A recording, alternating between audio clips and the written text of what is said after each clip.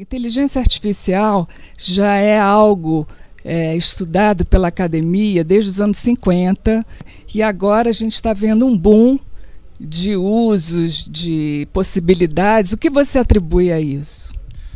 Bueno, probablemente eh, algoritmos, muchos de ellos son conocidos o los algorítmicos son conocidos desde hace muchos años, pero la tecnología que permite aplicarlos es realmente más reciente y tiene mucho que ver con la ley de Moore, ¿no? que es la ley de cómo cada dos años se duplica la capacidad de computación que tienen nuestras máquinas.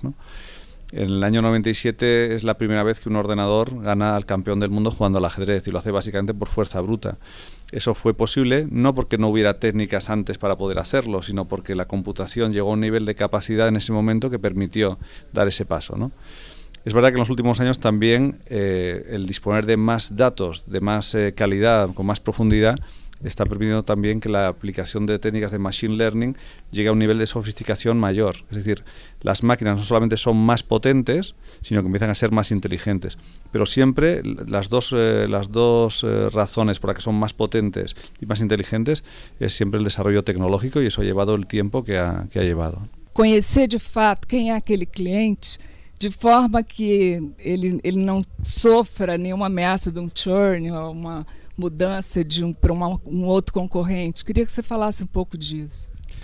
En el caso concreto de las telecomunicaciones, lo que permite la inteligencia artificial y el machine learning es eh, comprender por qué los eh, usuarios hacen lo que hacen. Y no solo eso, sino que además permiten adelantarse a lo que posiblemente van a hacer. Eh, si entendemos las razones que motivan el comportamiento de los usuarios y podemos entender cómo nuestras acciones como, compañía, como empresa, pueden impactar en su comportamiento futuro, eh, podemos buscar el beneficio de las dos partes. Un beneficio para la compañía, que lógicamente es conseguir una mayor rentabilidad de, sus clientes, y un objetivo que es positivo para el cliente, que es darle un servicio de mayor calidad y más adaptado a sus necesidades. Con lo cual, la comprensión de cómo han sido y de cómo son y a partir de cómo serán es un beneficio para las dos, tanto para las compañías como para el cliente. Essa, essas soluções estão sendo mais assim massificadas. As empresas têm mais acesso a essas modalidades agora.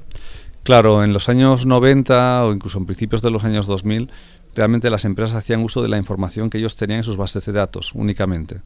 Ahora mismo pueden enriquecer mucho más la información con todo lo que se escribe, lo que se dice, a través, por ejemplo, de las redes sociales, de Internet, es decir, el grado de, capacidad para poder conocer es mucho, es mucho mayor. ¿no?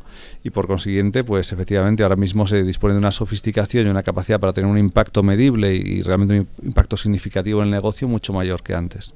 Quais são os impactos da inteligência artificial na mídia agora, na televisão, e os benefícios disso em termos de publicidade, que eu acredito que esteja revolucionando também? Sim.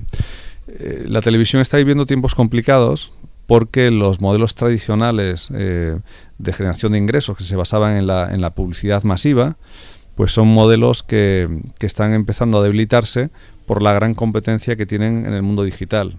Porque en el mundo digital la gran ventaja de la publicidad es que puedes medir mucho mejor a quién llega y, cómo responde a esa publicidad. ¿Por qué? Porque conoces a tu, a tu quién está al otro lado del, ordenador ¿no? o del teléfono móvil.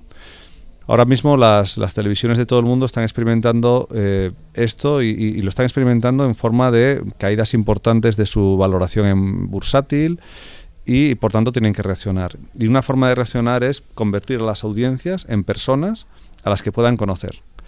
Y eso nos lo permite la tecnología. La tecnología permite crear una nueva forma de televisión que en lugar de ser unidireccional sea bidireccional, donde se puedan crear conversaciones entre el emisor, entre la, la cadena de televisión y el espectador, donde el espectador pueda profundizar en el contenido y eso va a generar un mayor conocimiento y ese mayor conocimiento tiene como consecuencia que podemos empezar a poner a disposición del espectador contenidos mucho más acordes a sus necesidades, a sus gustos, a sus preferencias.